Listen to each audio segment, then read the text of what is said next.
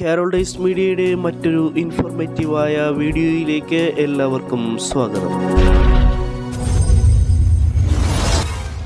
സംസ്ഥാനത്തെ ration card ഉടമകൾ June ഇരുപത്തിയാറാം തീയതി അതായത് ഇന്നു മുതൽ അറിയേണ്ട പ്രധാനപ്പെട്ട ചില ഇൻഫർമേഷൻസ് ആണ് മീഡിയ നിങ്ങളുമായി ഷെയർ ചെയ്യുന്നത്. ചാനൽ ആദ്യമായി കാണുന്നവർ ദയവായി സബ്സ്ക്രൈബ് ചെയ്യുക. ഒപ്പം വീഡിയോ ലൈക്ക് ചെയ്ത് കാണാനും മറക്കാതിരിക്കുക.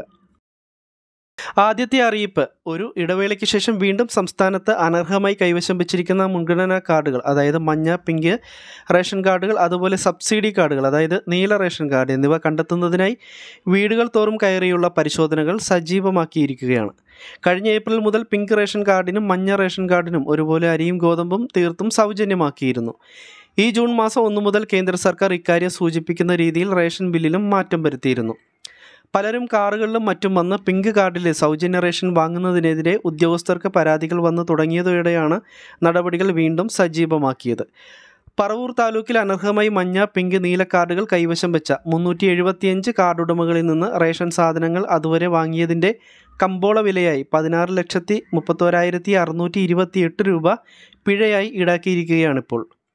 ശ്രദ്ധിക്കേണ്ട കാര്യം സർക്കാർ അർദ്ധ സർക്കാർ പൊതുമേഖലാ സഹകരണ സ്ഥാപനം തുടങ്ങിയ സ്ഥാപനങ്ങളിലെ ജീവനക്കാർ അതുപോലെ സർവീസ് പെൻഷൻകാർ ആദായ നികുതി അടക്കുന്നവർ പ്രവാസികൾ ഉൾപ്പെടെ കുടുംബത്തിലെ എല്ലാ അംഗങ്ങൾക്കും കൂടി ഇരുപത്തി അയ്യായിരം രൂപയിലേറെ പ്രതിമാസ വരുമാനമുള്ളവർ ഒരേക്കറിന് മുകളിൽ ഭൂമിയുള്ളവർ ആയിരം ചതുരശ്ര അടിയോ അതിനു മുകളിലോ വീട് സ്വന്തമായി ഉള്ളവർ ഏക ഉപജീവന മാർഗമായ ഒരു ടാക്സി ഒഴികെ നാല് ചക്ര വാഹനം സ്വന്തമായി ഉള്ളവർ എന്നിവർ മുൻഗണനാ റേഷൻ കാർഡുകൾ കൈവശം അനർഹമായി കൈവശം വെച്ച മുൻഗണനാ സബ്സിഡി റേഷൻ കാർഡുകൾ കണ്ടെത്തുവാൻ വീടുകൾ കയറി നടക്കുന്ന സ്കോഡ് പരിശോധന വരും ദിവസങ്ങളിൽ ശക്തമാക്കുമെന്ന് താലൂക്ക് സപ്ലൈ ഓഫീസർമാർ അറിയിച്ചിട്ടുണ്ട്. രണ്ടാമത്തെ അറിയിപ്പ് ജൂൺ മാസ റേഷൻ വിതരണത്തിലും ഈ പോസ്റ്റ് തകരാർ തുടരുകയാണ് എന്നതാണ്.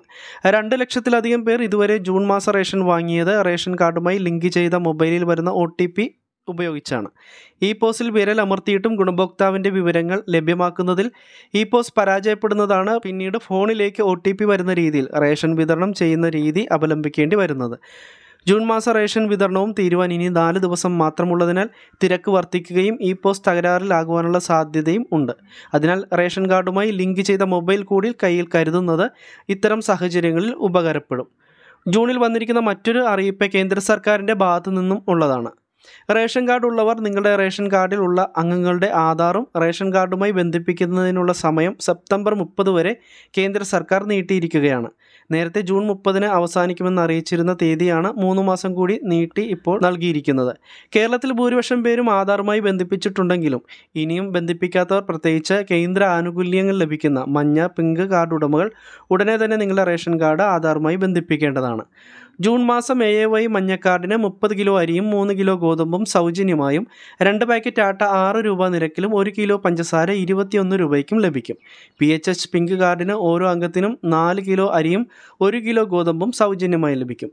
കാർഡിന് അനുവദിച്ചിട്ടുള്ള ആകെ ഗോതമ്പളവിൽ നിന്നും മൂന്ന് കിലോ കുറച്ച് അതിനു പകരം മൂന്ന് പാക്കറ്റ് ആട്ട എട്ട് രൂപ നിരക്കിൽ ലഭിക്കുന്നതാണ്.